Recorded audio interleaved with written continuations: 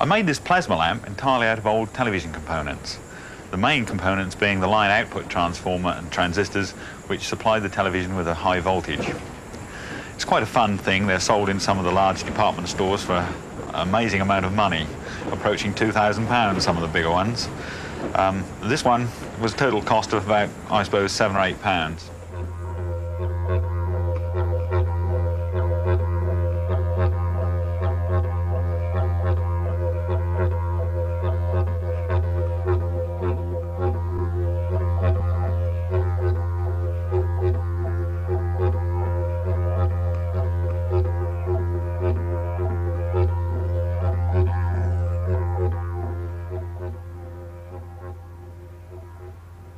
This is the National Museum of Film Photography and Television in Bradford, and this part's all about how television works.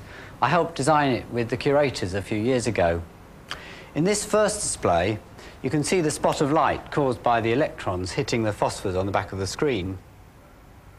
If I hold a magnet over the screen, the spot moves because the beam of electrons is attracted by magnetism. And with an electromagnet strapped round the neck of the tube, the magnetic field can be very accurately controlled so that the spot can be moved precisely anywhere on the screen. And of course, if I move the spot into this patch where we scrape the phosphors off, the spot will disappear. Also, by adjusting the intensity of the electron beam, the brightness of the spot can be varied. In a television, the spot is made to scan the screen line by line. The image is formed by varying the intensity of the spot as it scans.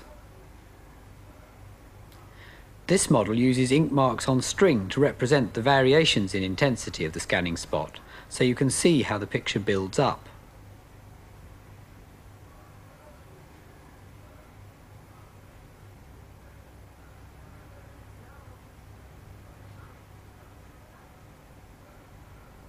So if we increase the scanning speed, the illusion of a complete picture starts to appear. The sharpness of the picture depends on the number of lines. Today's sets have 625. The original EMI system had 405, and Baird's had only 240. Gerald Wells, who runs the West Dulwich Radio Museum, has collected some of the first domestic television sets. His earliest set doesn't look like a television at all. It was a Model 900. It was probably the first television in the country of its, of its type, and it was bought out in time for television. Originally, it was dual standard, had a switch for uh, 240 line and 405 line, so you could watch with Marconi EMI system or the Baird system. It doesn't look like a television. No, it doesn't, because in those days the early cathode ray tubes were so long in the neck, the only way you could mount them was vertically with a mirror in the lid. I mean, reverse the scanning coil, so your picture was the right way around. And you actually watched it in a mirror. You could watch it either in that position for sitting position, or you could turn it up like that and watch it in the uh, standing position. Or you could close it down altogether, and it just looked quite an inoffensive sort of cabinet. As nobody could afford that model Yeah. a hundred pounds ago, Marconi EMI bought out the 707 and the 705, which was a 5-inch and 7-inch set respectively, which would sell for 29 guineas and 31 guineas. They maintained that even if a television system failed, and they had a sort of idea that it might be shut down somehow or other, but at least you had a good quality radio for your money. They then started getting the screens larger again. They started Yes. off with large screens at Yeah. 9 inch, uh, 12 inch, then went down to 5 and 7, and then gradually they crept up to 9 inch. With this model, um, with, with, with 709, which was quite a, quite a fine receiver. This one's working a bit. And also a first class radio. This came out at about £60 and was currently in the shops up till uh, the outbreak of war. Which is the earliest example of a post-war set? Well, I'd say it was this nine-inch Pye here. Pyes didn't do anything astounding before the war with television. They made a few, they weren't particularly brilliant. And then after the war, with the experience they'd gained from radar and the money they'd made out of a war, they'd ploughed back into their company. They produced this thing. It was an absolute work of art. It looks much more compact. It's very compact, sets. uh, beautifully designed, easy to work. Had a little panel on the front where you could get at the line hold and frame hold controls to adjust it. gave a high definition picture, Hmm. mirror backed tube, and all the technology we'd learnt during the war came out in this. It was brilliant. And this portable here, what, what well, this is a, looks certainly portable. It's the little nine-inch Bush that came out in 1950. A lovely little bit of engineering, um, also slightly out of adjustment, and um, they made use of a jelly mould with a Bakelite. It was a lovely substance. It matched the DAC-90 radio it bought out at the same time. It was small, it was compact, it didn't have a large mains transformer in it. It was miniature valves and modern plastics again. This was a lot safer. You couldn't kill yourself on one of these. Well, you could if you were absolutely stupid. But these sets were absolutely lethal. In fact, before the war, we, our main insulating materials, of course, was paper, tar, wax, and varnish. The first man to be killed by television was a friend of mine, and that happened up at Newton-le-Willows uh, in, uh, in the 50s. On a set I'd actually taken up there, that one of that model. So uh, uh, they were, it was brought home to me very definitely how dangerous these sets were. So this There is no big- second chance of it. so this is a big improvement. One touch of that and you're in the service department in the sky. You've had it.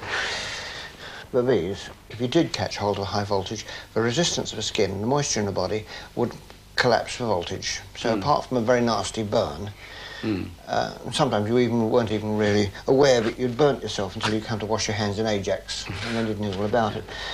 But you certainly didn't kill. The pictures on these old televisions now have to be converted from today's 625 lines to the old 405 line standard. This converter is a bulky machine, and Gerald's now got such a large collection of televisions and radios that the only place he could find for it was next to his bed. Colour television uses three different coloured phosphors, red, green and blue, with a fine metal mesh behind. This mesh has a grid-like pattern of tiny holes or lozenge shapes. This is a mesh we've taken out of a telly, and if I hold a torch behind it, you can see the holes clearly.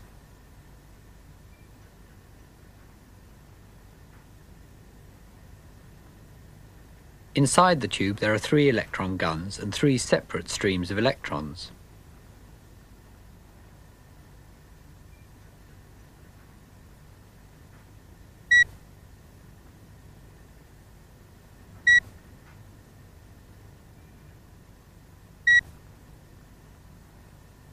The mesh or mask blocks the electrons and only lets them through the holes.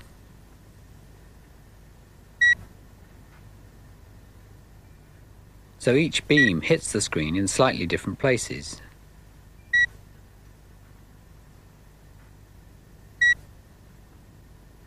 Inside the screen, the three coloured phosphors are laid in fine strips, here shown greatly enlarged. When the mask is in place, each electron gun, here shown by holes in white card, only reaches one colour of phosphor.